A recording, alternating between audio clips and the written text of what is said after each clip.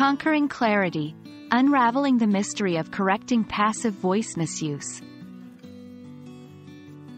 Hello, language learners. Today, we're going to delve into a topic that can cause confusion for many English learners. We'll focus on maintaining clarity and meaning while correcting passive voice misuse. Passive voice can be quite tricky, but with some practice and understanding, you'll be able to spot it and correct it without losing the original meaning of your sentences.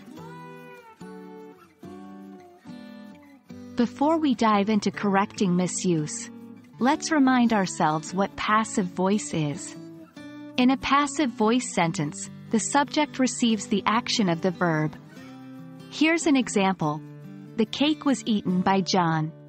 Here, the cake is the subject, and it is receiving the action, was eaten. In contrast, the active voice would say, John ate the cake.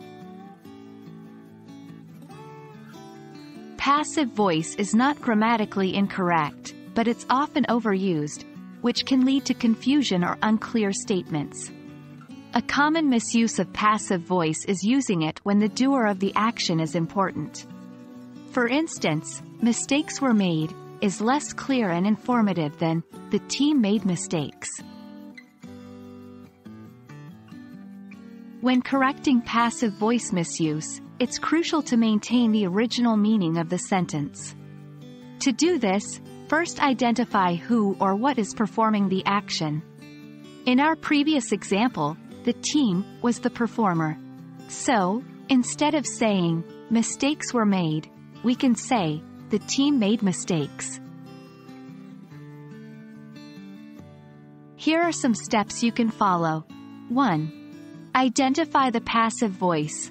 Look for the be verb followed by a past participle verb form. 2. Find the actor.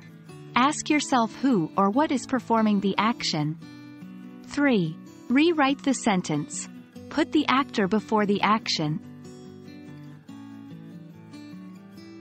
Now, let's do some practice. Passive.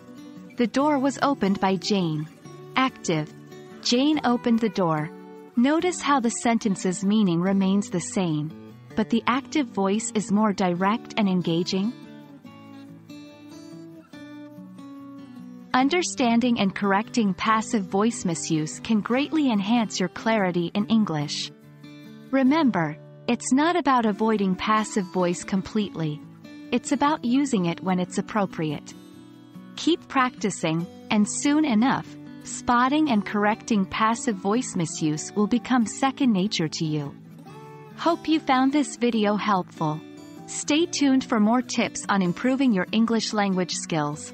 Happy learning!